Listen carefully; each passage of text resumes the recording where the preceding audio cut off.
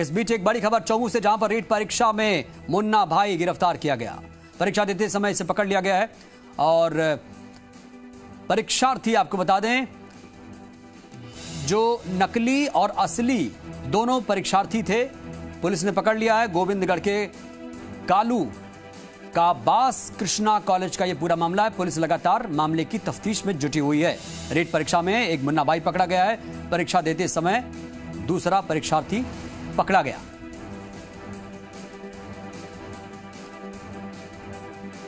और ज़्यादा जानकारी के साथ हमारे संवाददाता प्रदीप सोनी जुड़े हैं। प्रदीप, बताइए, क्या ताज़ा अपडेट देखिए, कमरुद्दीन, मैं बता दूँ, गोविंदगढ़ के जो कालूकाबाद गाँव का ये पूरा मामला बताया जा रहा है, जहाँ कृष्णा कॉलेज में जो परीक्षार्थी है, उसकी जगह डमी परीक्षार्थी परीक्षा देते वक्त पकड़ा गया है। फ़िलहाल, असली और नकली दोनों परीक्षार्थियों को पुलिस ने हिरासत में ले लिया है। गोविंदगढ़ थाना पुलिस उनको लेकर आई है, जिनसे पूछताछ की जा रही है। जो डमी कैंडिडेट बताया जा रहा है, वह बिहार का बताया जा रहा है।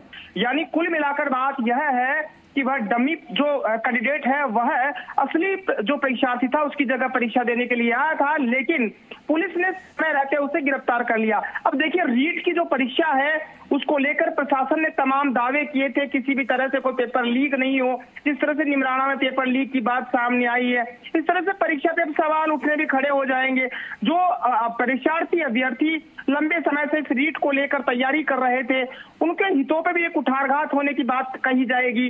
तमाम सवाल खड़े होंगे। तो ज़रूरत इस बात की है कि प्रशासन हालाँकि पूरी मुस्तैदी के साथ में मुस्तैद है कि कहीं भी कोई अनियमितता सामने ना आए। लेकिन फिर भी मुन्ना भाई जैसे लोग भी पकड़े जा रहे हैं कमरुद्दीन। बिल्कुल, मुन्ना भाई, जैसे लोग सक्रिय हैं, पकड़े भी जा रहे हैं। शुक्रिया आपका प्रदीप जानकारी देने के लिए। तो कुल मिलाकर, ये एक बड़ी कार्रवाई है और लगातार पुलिस कार्रवाइयाँ कर रही है। मामले की तफ्तीश भी की जा रही है। रीट परीक्षा में कई छिटपुट घटनाएँ देखने को मिल रही है।